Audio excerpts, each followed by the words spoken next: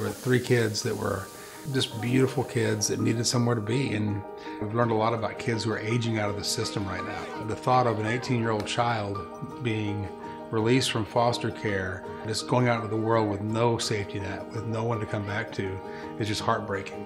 Through the process, you just realize how many kids are just great kids that just had a really bad start in life and need somewhere to go. There's nothing more, more of a struggle, more painful, but more rewarding to go through than bringing kids into your home and giving them a chance.